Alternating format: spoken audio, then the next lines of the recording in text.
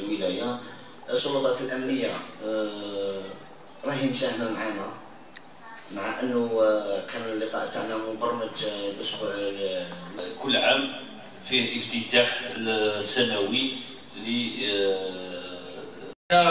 يعني ما نذكروش الفضائل تاع الجمعية هذه لأنه لو كان ماشي الأستاذ إبراهيم يوجه لنا الدعوة إحنا كجروب سياحي إنه ننضموا معاه كنا ما يكون تكونش عندنا تسهيلات.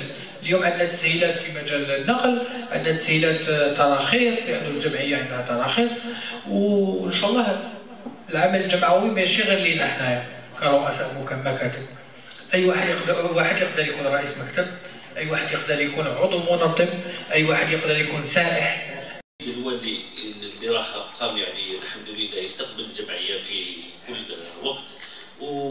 ب- بتنسيق بين مختلف المدراء وكانوا معايا في النشاطات التوعية. يعني الإدارة هذه حنا نتقربوا لها مش هي تجي تقرب لنا كمكتب ولائي تتحرك إلى ال- ال- ال- المديرية الماليه وتحط برقية آه، كما يقولوا في الميدان هذايا.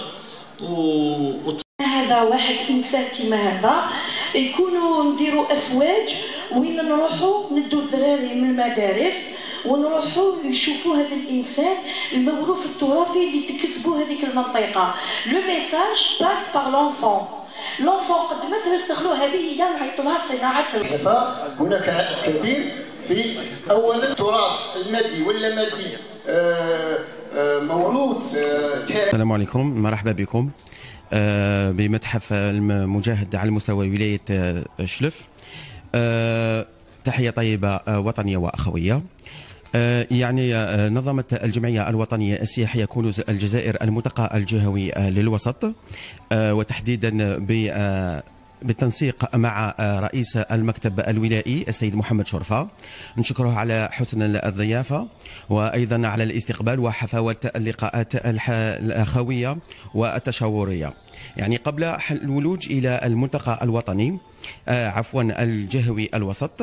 تطرقنا إلى آه، يعني إلى النقاش آه، الواسع آه، والشاسع فيما يخص العراقيل التي آه، يعاني منها رؤساء المكاتب الولائية وكذا المكاتب الجهوية. بسم الله الرحمن الرحيم. آه، شرفة محمد رئيس المكتب الولائي للجمعية الوطنية السياحية كنوز الجزائر المكتب الولائي شلف.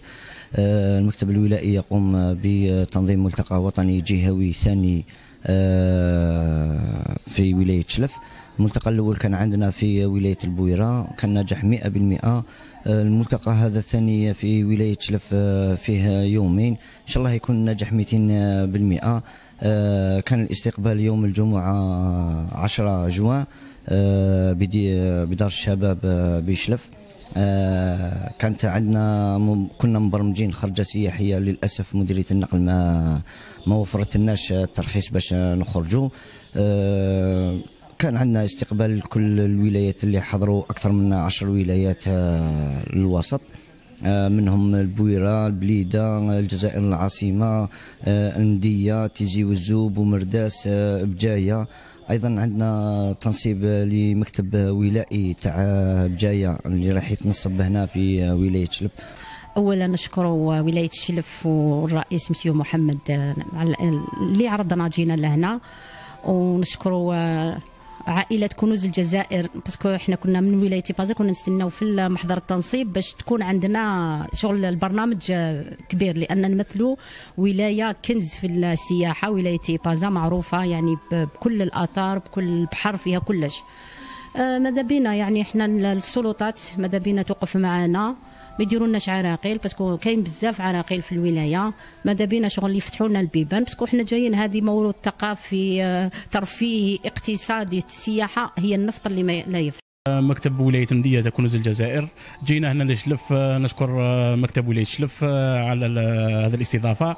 يعني آه، السياحة في الجزائر كما تعرفوا راها جاية يعني في تكون إن شاء الله ما هي مكان النفط على حسب الشعار تاع الجمعية تاعنا. وهذا الملتقى اللي التقينا إن شاء الله في شلف. راح ندرسوا ال- الوضعية تاعنا إن شاء الله تاع السياحة ونخرجوا إن شاء الله بتوصيات. باه ننشطوا هذا القطاع في ولاية شلف ولا في ولاية الأخرى بصفة عامة.